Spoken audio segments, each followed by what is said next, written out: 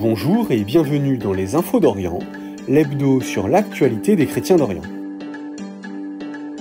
Ce dimanche 17 novembre, les chrétiens d'Orient suivant le calendrier julien ont célébré le début de l'Avent. C'est le cas notamment des Byzantins, des Coptes, des Éthiopiens ou des Arméniens. En Éthiopie, l'Avent est marqué par le jeûne des prophètes.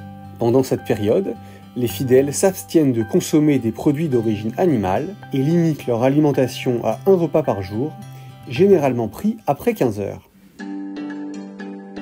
Ce mardi 19 novembre marque le millième jour de l'invasion russe en Ukraine. Le bilan est lourd, 280 000 soldats tués dans les deux camps et 800 000 blessés. Du côté des civils ukrainiens, on compte plus de 15 000 morts et près de 26 000 blessés. À cela s'ajoutent 15 000 déportations ou emprisonnements par les forces russes et 6,7 millions de déplacés, dont 4,2 millions à l'extérieur du pays.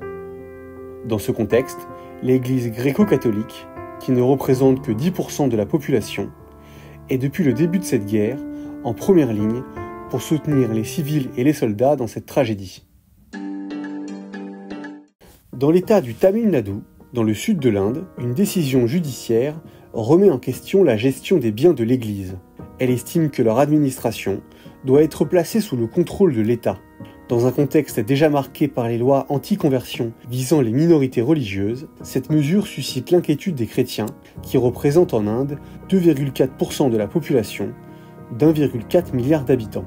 De leur côté, les autorités justifient cette décision par une mise à égalité des différentes confessions, puisqu'une instance équivalente existe déjà pour les hindous et les musulmans dans le pays.